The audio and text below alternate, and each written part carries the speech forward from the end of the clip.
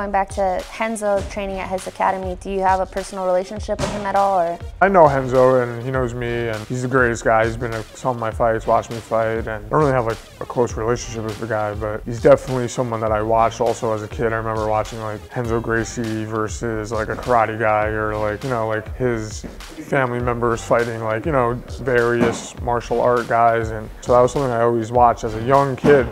And like I remember saying to myself, like, wow, I would love to train with the Gracies. And now here I am. And I'm a brown belt under John Danaher, and you know he's the main coach at uh, at Renzo's. So it's pretty cool to say that uh, I guess I'm a Gracie fighter in a sense. It seems like you have a different coaches with different kinds of personalities. I know lots of times fighters train separately with their coaches. You're not going to train with Jason and Mike at the same time sometimes. How is it for you to put that all together when you're in the cage? All my coaches are on the same page. They all have the same mindset and they want me to do the same things and they, they usually agree on, say, an opponent and, and what I should do with an opponent. So like today, for instance, I trained at Renzo's and I'll do the class and then I'll drill with my coach Mike and he'll tell me that he wants me to do this, this, and this and I'll do what he wants me to do then. And a couple hours later, I come down here with Jason and he'll dig into me and bust my balls as much as he can until I uh, correct it.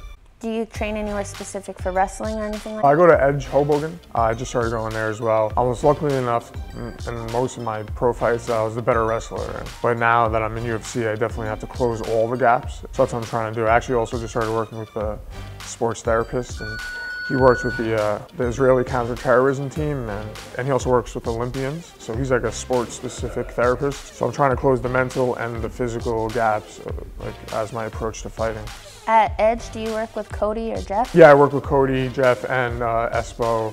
You know, they all, it's a collective uh, group effort. A lot of my teammates train there as well. So, like I said, we're all on the same page and all my coaches, they all know each other. You know, the guys at Edge, Mike and, and Jason, they all have cornered the same guys in multiple fights, so uh, it's like perfect for me. What's the mindset that you have going into a fight? Well, I have this like motto that like I know I already won the fight. I just have to have time elapse until it's set in stone, and I just got to have to go execute. And what's the hardest part for you about a fight camp? The daily grind, and I, I cut a decent amount of weight, so diet's like one thing that I have to dial in on more so now, especially that I'm in UFC. You know, they can call you any day and tell you they want you to fight, and you know, that's a huge part of it. I think you know, feeling good in fight camp while you're cutting the weight, and then the rehydration process, and then when you get in the cage.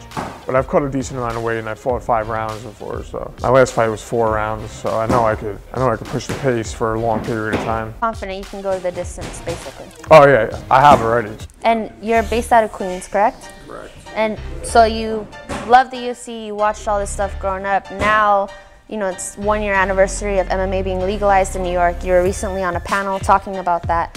What changes have you seen in the New York fighting scene since that legalization? You know, a lot more leagues have popped up in the New York area.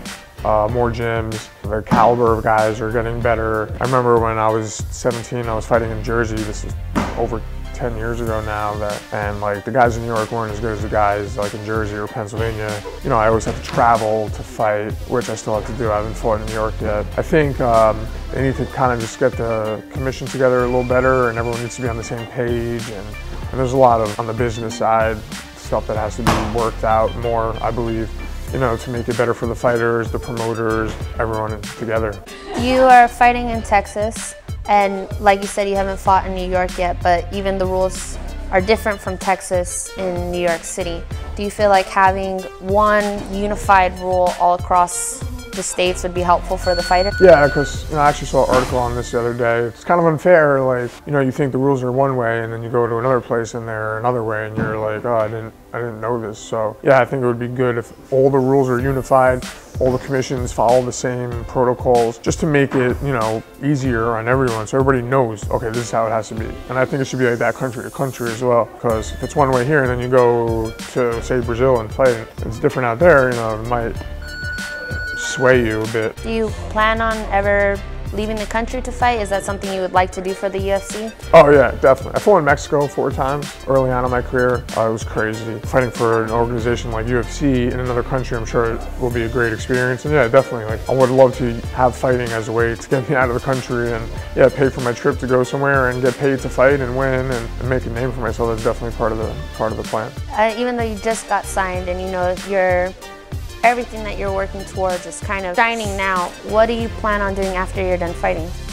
Like I said before, the goal is to help others. I, I want to develop something, some sort of program or charity or something along those lines where, where I could, you know, help other people through through my work. You know, that's that's like my passion now. And I've only come to realize that within the last year or so that it's not about me, it's about other people. Because when you keep when you're selfish and it's all about you, then things tend to not work out the way you'd want them to. Maybe for some people they do.